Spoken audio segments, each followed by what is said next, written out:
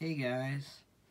Um, now somebody requested, like in my banners and videos and stuff like that, to request some of my portable black and white TV videos, and I'm requesting one of those for my banners. So, um, if you're wondering what TV this one is, this is a Jensen portable black and white TV. Um, here's the back.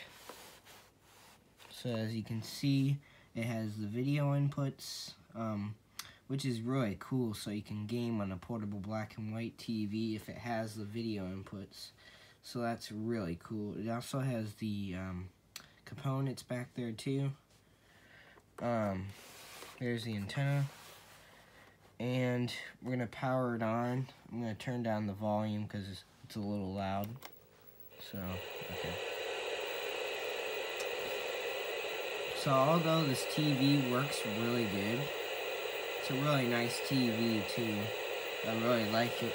And when you press this button for AV, uh, the uh, screen goes blank. And then when you press it out, um, it does the static. So that's really cool. I'll also um, make a video on this, um, how I like to play a video game on it. But thanks for watching and have a great day.